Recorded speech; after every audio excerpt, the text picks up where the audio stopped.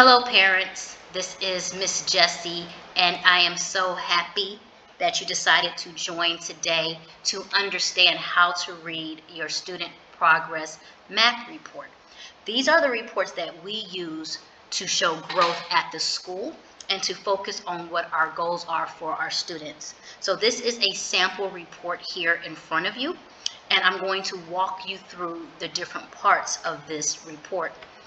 Upon first glance, you can see that it is definitely broken up into four sections. Math, language arts for reading, and then we have language arts, language usage, which is your grammar, your writing skills, um, your punctuation, your compound sentences, and those things. We also have science, and that is why our students take four exams during every term of this time. The only students who do not take four exams are our 10th grade students, and their scores read just a little differently for math and reading. They do not take the language usage. So here we have our different graphs and charts. You have a graph for every single time they've taken the test. This student took a test in the fall of 2018, the winter of 2019, the spring of 2019, the fall of 2019, the winter of 20, and then spring 20, you have a bar here. Well, let's pay attention. This is their math score. When you see the blue, the blue is what the students score on their math exam. This student scored a 205 in the fall. What we see is the next test they took, they did a 205. But in the spring, they went up to 219, which is really good because we're looking for progress. What happened though after spring in 2019, when they came back to school in the fall, they dropped 10 points to a 209. And then in the winter, they went back to a 209 again. We did not take a spring 20 exam because of the COVID situations. So now we have what's going on right here is this kind of dotted line. This dotted bar graph means this is their projection and their goal. What happens is that we get rated and we look at students hitting their goal.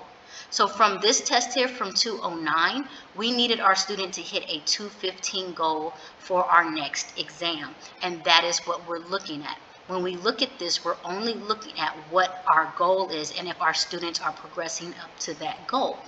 So when we talk about how high a student has scored, that means one thing. We first look to see at what number they scored and can they hit their goal. That is called our progress goals, and that is one reason why we celebrate the progress. We celebrate our students getting better and better and better. We don't celebrate the high achieving scores until they are consistent across. For this one, you see that it dropped down. So that's why we really focus on getting better and better and better. Now, let's go back to our colors. This blue is your student score. This orange is district grade level mean. This is the average for the district, our district being UAE Dubai. So this is the average. Here was a 205. Well, the average was 209. So this student is just four below, below the average. Now we look and we see this yellow bar. This is norm grade level mean. This is all the children in the world. So this yellow bar represents the norm or the average for all the children in the world who've taken the MAP exam. And that's why that information is important. You see the same things over here, except it's written out. You see these numbers here in bold, that's the actual scores that you have and it goes all the way back and it also has what section they were in. The score here and here to the side is the error. In case there was any possible error, that means that this is exactly where they would have scored in between these pieces. So no score is ever a perfect score. It's the score that's most likely for it to be, and that's the one in the bold. The other thing that you want to look at over here is your percentile range in the 20, winter 20, while in 7th grade A, this student scored a 209, which was in the 20th percentile range, which means that she fell in the 20th which means that about 80% of those students at that grade level scored better than she did.